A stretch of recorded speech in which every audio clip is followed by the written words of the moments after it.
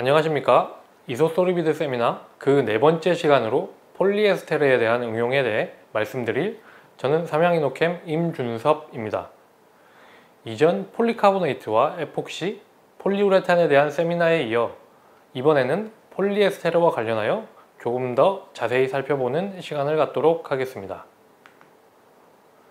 오늘은 폴리에스테르에 대해 기본적인 소개와 함께 isosorbide가 폴리에스테르에 사용될 때 주요 특징을 말씀드리고 이를 뒷받침할 수 있는 몇 가지 문헌을 살펴보는 것으로 세미나를 진행하겠습니다.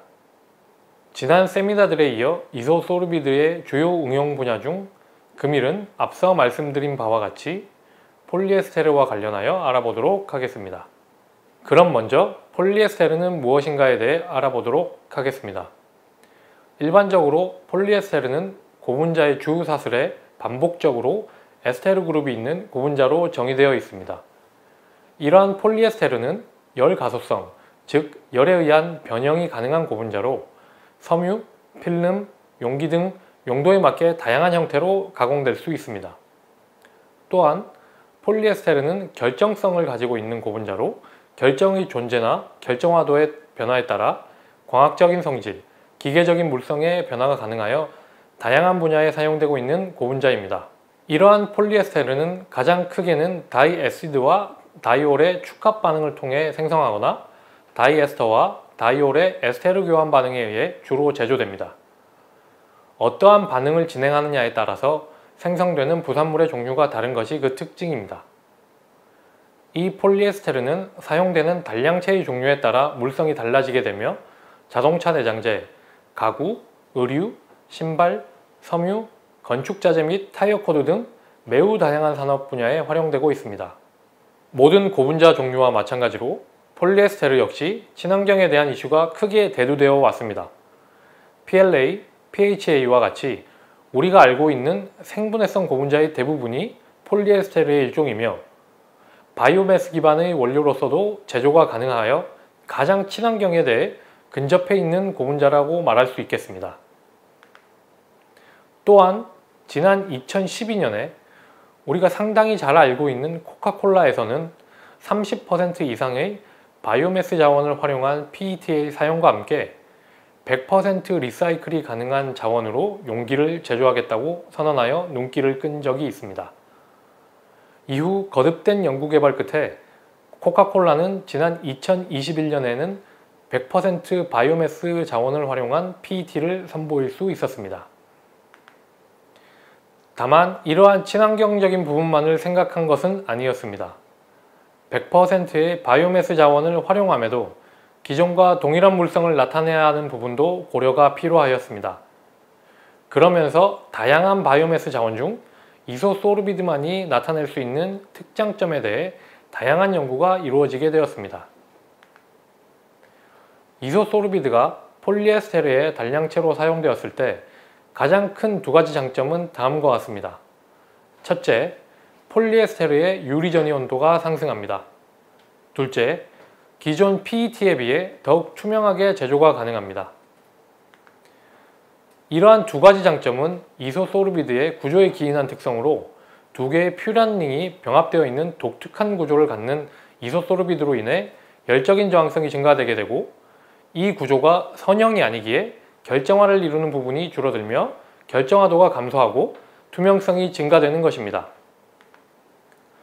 따라서 이러한 장점을 바탕으로 내열 용기나 전자레인지의 강력한 에너지를 견디는 식품 용기, 그리고 화장품 용기 등 다양한 형태의 용기로 활용이 가능하며 유리 전이 온도가 낮은 분체 도료의 내열성을 향상시키거나 광학용 편광 필름 등의 활용이 가능합니다. 그럼 이러한 이소소르비드 기반의 폴리에스테르에 대해 몇 가지 문헌들을 살펴보면서 이소소르비드가 폴리에스테르에 사용될 때 앞에서 말씀드린 특징들이 어떻게 활용되고 있는지 살펴보도록 하겠습니다. 먼저 살펴볼 내용은 이소소르비드를 폴리에스테르 계열의 분체도료 제조에 활용한 내용입니다.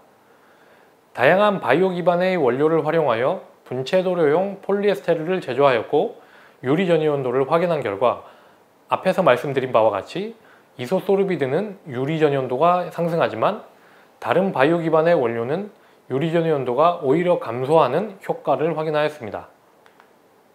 또한 분체도료의 경우 경도를 높이기 위해 무기 충전재를 활용하기 때문에 이로 인해 광택은 저하될 수밖에 없는데 8%가량의 이소소르비드를 활용하게 되면 광택이 유지되면서 경도를 향상시킬 수 있었습니다. 이는 분체도료 제조 시 광택에 대해서 선택의 폭을 확장시킬 수 있는 장점이 있습니다. 이번 문헌은 2017년 미국이 특허로 생분해성 고분자로 알려져 있는 PBS와 PBAT의 물성적인 단점을 커버하기 위해 이소소르비드를 활용한 특허입니다.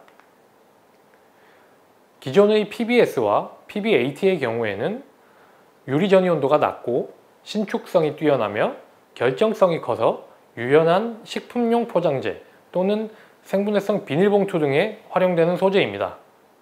다만 신축성에 비해 강도나 경도가 낮아서 PLA와 같이 경도를 유지해야 하는 용도에 있어서는 사용이 어려운 소재이기도 합니다.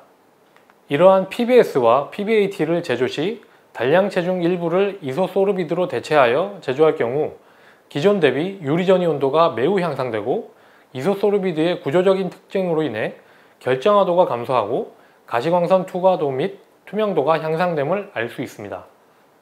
또한 경도 등의 유지가 필요한 부분에서 활용되고 있는 PLA와 비교하여서도 손색이 없는 물성을 나타내어 활용 범위를 확장할 수 있는 물성을 나타내었습니다. 다음으로는 1996년에 게재된 논문으로 상당히 오래된 문헌이지만 기존의 PET에 이소소르비드를 에틸렌 글리콜을 대체해가며 물성을 확인한 가장 기본적인 논문을 살펴보도록 하겠습니다. 앞서 말씀드린 바와 같이 이소소르비드가 전혀 투입되지 않은 PET와 조금씩 투입된 PEIT 그리고 완전히 이소소르비드만 투입된 PIT로 이소소르비드의 사용량을 변화해 가면서 열적인 특성을 확인한 결과 유리전이 온도는 이소소르비드의 사용량에 비례하여 증가함을 알 수 있습니다. 또한 이소소르비드의 함량이 35%가 넘어가면 고분자의 용융 온도가 나타나지 않는 것을 확인할 수 있습니다. 이 고분자의 용융 온도는 결정성 고분자의 특징으로 이소소르비드가 증가함에 따라 서서히 용융 온도가 감소하다가 35% 이상부터는 관찰이 되지 않습니다. 이는 이 폴리에스테르가 결정성 고분자에서 무정형 고분자로 변형이 되었음을 나타내는 것입니다. 오늘은 이소소르비드를 활용하여 폴리에스테르에 적용 시 이소소르비드가 어떠한 특징을 나타내는가에 대해 확인해 보았습니다. 이소소르비드가 사용됨에 따라 유리전이 온도 등의 열적 특성이 향상되게 되고 결정화도가 감소함에 따라 투명성이 증가하게 되는 것이 가장 큰 특징이라 할 수 있겠습니다.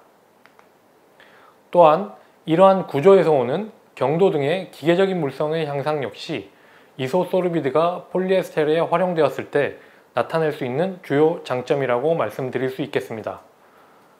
앞서서 말씀드린 이소소르비드가 활용된 폴리에스테르에 대한 내용은 지극히 일부분이라고 말씀드릴 수 있습니다.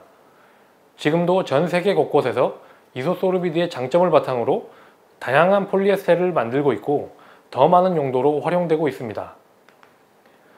앞으로도 삼양이노캠의 다양한 이소소르비드의 활용에 대해서도 많은 관심 부탁드리며 오늘 세미나는 여기서 마치도록 하겠습니다.